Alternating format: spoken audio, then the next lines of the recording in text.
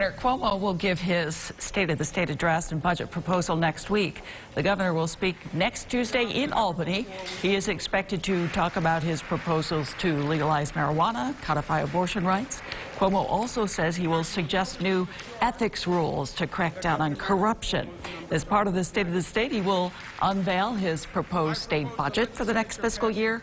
Lawmakers hope to pass a new budget by April 1st. Governor Cuomo began his third term this month.